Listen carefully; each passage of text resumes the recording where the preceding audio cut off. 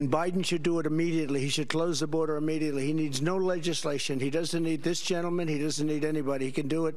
I did it without any legislation. I had the best border we've had in ever recorded history. He can close it immediately. If he would have left, we, we had stay in Mexico, remain in Mexico. We had catch and release in Mexico, not here. We had everything.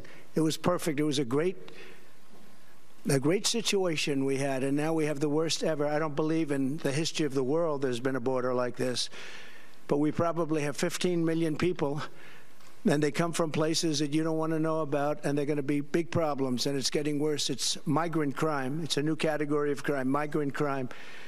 And I'm just demanding, I just demand, as a citizen, I demand the border has to be closed. Our country cannot take it. No country could take it. It's not sustainable by any country. And uh, we want to also mention election interference, and we want to talk about election integrity for a little while. But basically, that's what we're working on. And uh, I'll introduce the speaker, who you know very well. He's doing a, a really good job under very Hey, Shalom. I want to give all the praise, all the honor, and all the glory to Yahweh Bahasham, Yahweh Shai Bahasham, Rachakodash. Yahweh being the name of the Heavenly Father, whom this world ignorantly calls God, the Holy One of Israel, and the name of His only begotten Son, Yahweh Shai, whom this world ignorantly calls Jesus Christ and the Holy Spirit. Double honors to the apostles and the elders of Great Millstone who do rule well, and peace and mercy to the hopeful elect, those men that are doing His work in sincerity and in truth across the four corners of the earth presenting their bodies as a living sacrifice. And much love to the 130 you believers out there. I'm your fellow lowly servant, Yeshaya, and I pray, Lord willing, that this lesson is edifying through the Spirit. All right. Um. So this is not going to be too long. This is an in trans that I'm doing. Uh, you know, I had something I was brewing up yesterday, and it didn't really go the way that I liked. You know, sometimes it be like that in the spirit. Um, but uh, I wanted to get this out the way. Uh, you know, well, not out the way. I wanted to. Something was on my spirit to discuss, and uh, I was somewhere earlier, and I was watching. A news station was on, and uh, it was talking about Donald Trump, and he said, "I want to close the border. I demand." He said, "I demand that we close the border."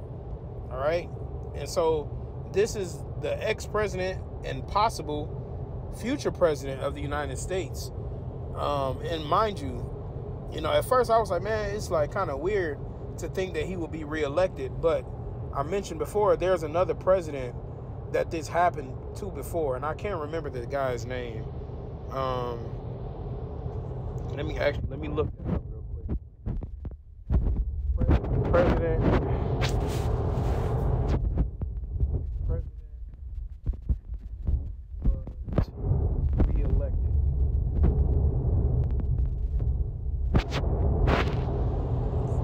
Right, it was Glo- Grover Cleveland, right. that should be easy to remember. But it says uh, the first Democrat elected after the Civil War in 1885, our 22nd and 24th President Grover Cleveland was the only president to leave the White House and return for a second term four years later. So ultimately, that's what Donald Trump is trying to do the same thing that Grover Cleveland did. He was the president, then another president comes in, and he's the president after that. And that's what Donald Trump's goal is, right? But he says, I demand that we close the border. Now, Donald, Donald, Donald. uh, you got to understand this, sir.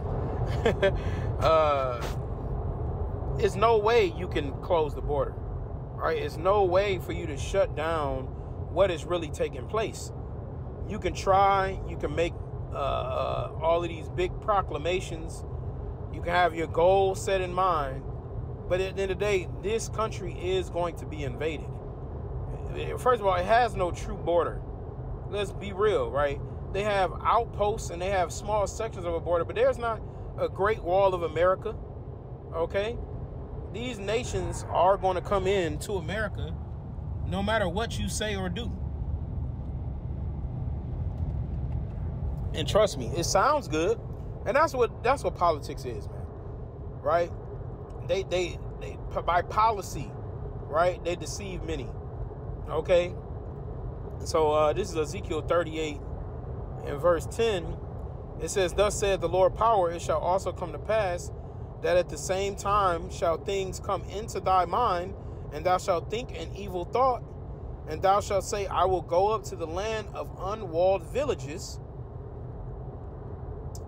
Right? It says, I will go to them that are at rest, that dwell safely, all of them dwelling without walls and having neither bars nor gates.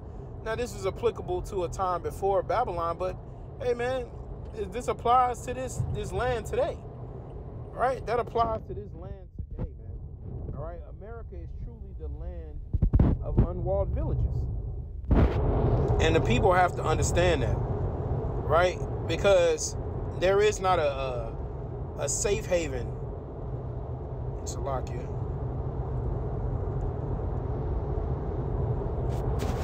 I'm trying to look up something.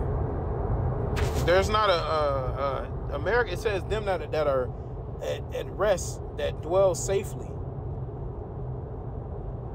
Okay.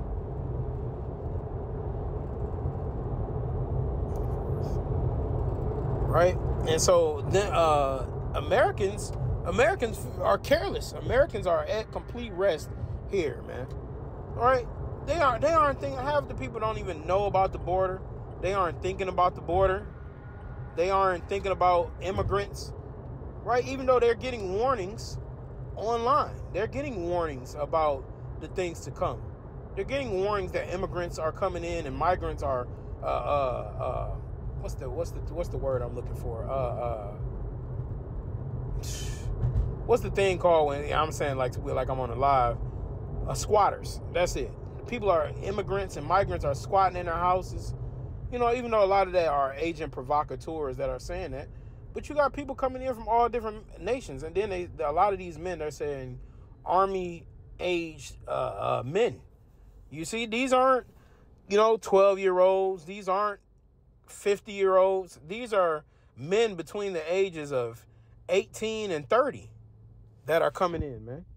Right. So it says, "I will go." You shall think an evil thought, and is that a is invasion not an evil thought? let me go ahead and get the definition for invasion. So, like, if I'm covering the mic, Jake had to take my case off, um, and I, I misplaced it. I think it's at the brother's house, but I got to get another one. But it says uh, invasion, an instance of invading or a country or region with an armed force, an incursion by a large number of people or things into a place or sphere of acti- activity an unwelcome intrusion into another's domain. And that's exactly what this is. This is an unwelcome intrusion into the domain of America, right? People don't know who wants to be invaded. Right? What what nation of people wants to be invaded? What country wants to be invaded? Right? But America's so destroyed. America will pull a 9/11 and invade itself and put the the fear the fear upon people, you know? But the time of these invasions, ain't nothing Donald Trump, your your great orange prince, ain't nothing he can do to save y'all people. Right? There's nothing that he can do, man. Let me see.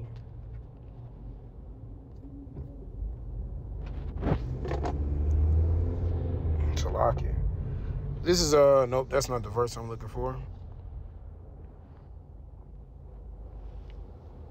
This is uh, Jeremiah 51 and 14, and this has been coming out a lot. It says, The Lord of hosts has sworn by himself, saying, Surely I will fill thee with men as with caterpillars, and they shall lift up a shout against thee. So, this is a prophecy that Donald Trump doesn't understand. This is a prophecy about the invasion of America, right? If you understand that Jeremiah 51 is speaking about a new Babylon, a future Babylon, the the the, the uh, current Babylon the, the daughter of Babylon. That's what it's referring to, which is America.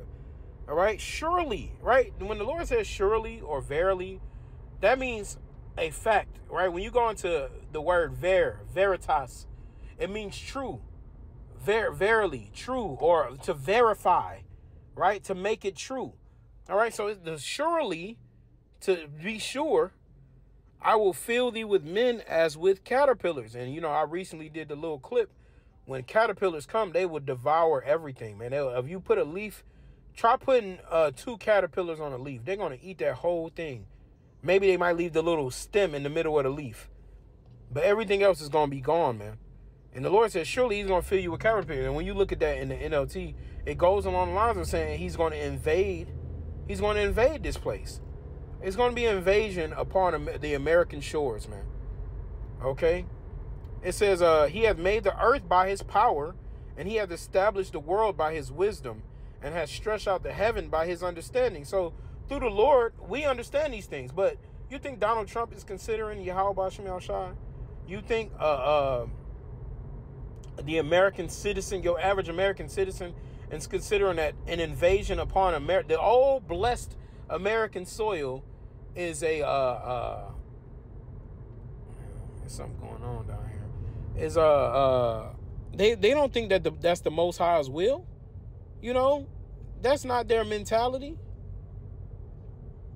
Right? Their mentality is that this place is going to go on forever, that everything is all good, that it's no big deal, that America ain't to never be touched, right? And that's what a Revelation 18 goes into. Let me get that. You know, everybody think that America is the land of the untouchable.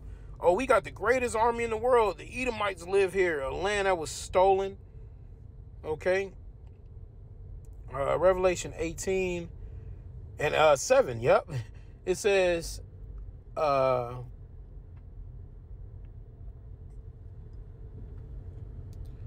it says, uh, how much has she glorified herself and lived deliciously? So much torment and sorrow give her. For she saith in her heart, I sit a queen and am a widow and shall see no sorrow. So that's the mentality of Babylon America, man. All right. That's the mentality of Babylon America is that it's not going to see any torment, that it's not going to see any sorrow, that nothing terrible is going to happen to this place. But I guarantee it's going to be the worst thing, according to Jeremiah 30 and 6 through 7 and Revelation 12 and 1. It's going to be the worst thing that's ever happened to a nation before. And it's going to come upon all four corners of the earth, man. But you got to understand, this is the will of God, man. This is the will of who you ignorantly call God and who you ignorantly call Jesus Christ, whom the people in this nation claim to say they know and love and appreciate and respect. You know, they'll say, God bless America. Well, you, under, you if you understood that the Most High God, Yahweh, He is going to destroy America till there's nothing left. So that that reason alone lets you know that people understand don't understand the heavenly father at all the same place that you want him to bless he's going to curse perpetually people do not understand Yahweh Bashim Shai. People don't know his name. People don't fear him. So the Lord is about to send these uh these invaders, man. So hey, Donald Trump, ain't nothing you can do to try to block an invasion. Ain't nothing you can do to stop these people from coming in and and destroying this place and tearing it down, man. All right. The only thing you could do is is is hope for a, a decent slavery. You you Edomites, you so-called white people, right? And I, a decent slavery meaning you found you you in the slave plantation of the most easygoing brother in the nation of Israel. Which you gotta understand, it ain't gonna be no easygoing brothers because the scriptures say that he's gonna put his indignation in our hearts. So we're gonna have God's then we're to have the most highest anger in us. So because if it was up to us, we would just we wouldn't go as hard as we we should. We would just be like, all right, that's enough beating his ass. But we got to have the most highest anger in us to be able to uh, give you the, the the judgment that you so deserve, man. You know. So I told you it's gonna be quick. I just wanted to uh, get that point across. Ain't no closing the border. They don't even have a border, man. we already uh, America's already swamped with sleeper cells with men that are ready to come down and destroy this place, man. But hey, I pray, Lord willing, that this lesson was edifying. I want to give all the praise, all the honor, and all the glory to Yahweh Bahasham, Yahweh Shai Bahasham, Achakodash, double honors to the apostles and the elders of Great Millstone, and peace and mercy to the elect.